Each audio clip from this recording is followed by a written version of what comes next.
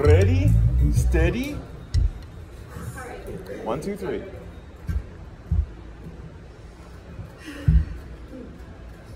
These two.